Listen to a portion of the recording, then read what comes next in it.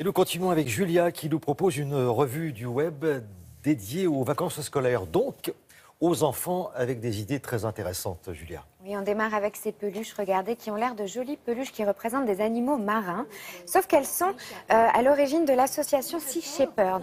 Sea Shepherd, c'est une organisation vouée à la protection des écosystèmes marins qui part du principe que la meilleure sensibilisation passe par l'éducation des enfants. Et regardez ce que les enfants découvrent en ouvrant leur ventre, les déchets, les différents déchets qui ont été jetés en mer et donc ingérés par ces animaux. Ces jouets s'appellent Pollutoy et ils ont vraiment attiré l'attention des internautes. C'est un joli projet éducatif qui va vraiment sensibiliser les enfants très jeunes, hein, parce que ça démarre à 3 ans, au problème euh, de la pollution des fonds marins. Ça, c'est le premier projet dont je voulais vous parler.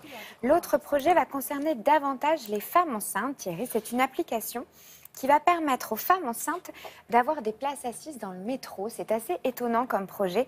En fait, vous êtes, vous, usagers, quand vous vous asseyez dans le métro, vous vous signalez sur l'appli et quand une femme enceinte rentre dans la, dans la rame de métro, eh bien, elle est tout de suite prévenue euh, qu'il y a une place qui va se libérer pour elle. C'est une appli qui fonctionne dans les deux sens. C'est vraiment du sens civique. C'est vraiment euh, très bien fait. Ça existe en Angleterre, en Corée et ça s'appelle Baby on Board. Et j'espère, j'espère que cette appli va arriver en France.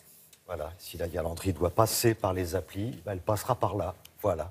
Merci beaucoup, Julia. Merci.